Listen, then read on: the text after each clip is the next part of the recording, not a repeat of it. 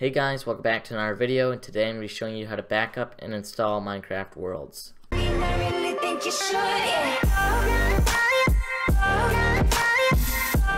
Okay guys, so real quick before I play the video, this will work on Mac and Windows. It doesn't have to be just Windows like I show in the video.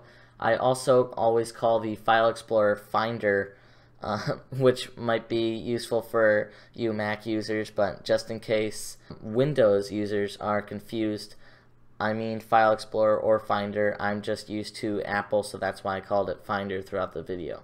So guys, we're going to start off with how to back up your Minecraft world, and so we're just going to select the world that we want to back up of, and in our case it's going to be this one right here. We're going to come down and click Edit. Now we're going to click Make Backup and now it's making that back up. So now if we switch over to our finder okay so now we are in our finder and now we can see that we've got our recent backup right here. So this is the backup that we just made. And just to make sure we can make one more so we can go in again click edit make backup. We get this um, nice little animation up here and then we can go back over to our finder and there we've got our second backup right here. So now we've got both of our backups, and this is just under the .minecraft folder in the backups area. Saves would be your worlds, and then backups is the, oops, um, the backups of those worlds. So you can have um, all your backups inside of here.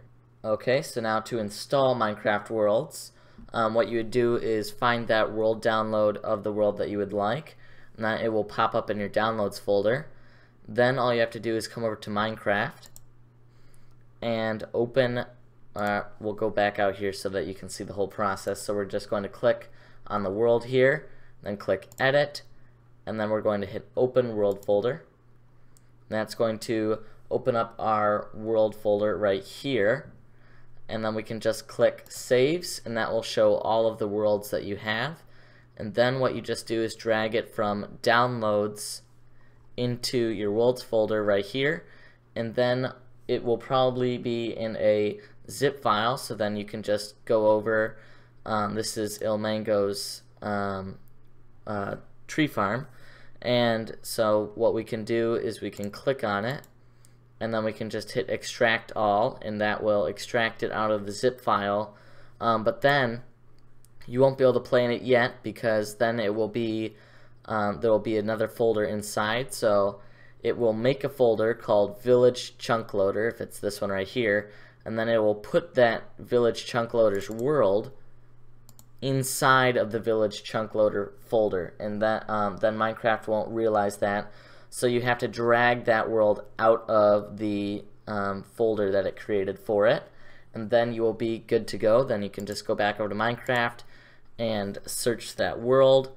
Um, we'll do 1.11 and um, we'll have our world right here. And then you can just open up that world and you're good to go.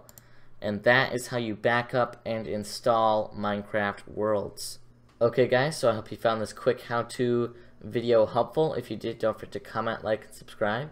I hope to see you on my next video and goodbye